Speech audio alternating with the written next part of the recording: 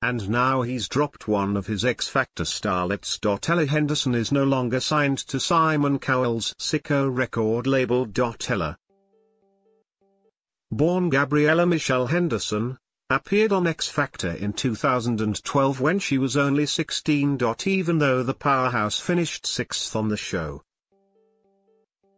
she signed a lucrative contract with Syco, and quickly went on to release number one single Ghost. The 22-year-old hitmaker also has successful features on Sigma's Glitterball and Kygo's Here For You. Sadly,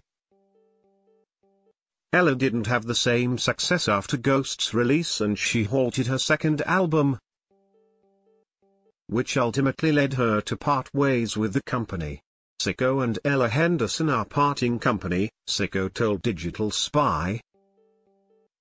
In a statement, we wish Ella all the best for the future and thank her for her hugely successful contribution over the years. There. Yours singer recently addressed the lengthy wait for her next album on Instagram following a tough year in 2017. She said, Sat here listening to the music I've been writing over the last few years. I know I have took my time and I know I've had a lot of growing up to do.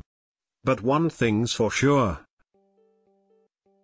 I cannot wait to get back up on stage and share everything with you.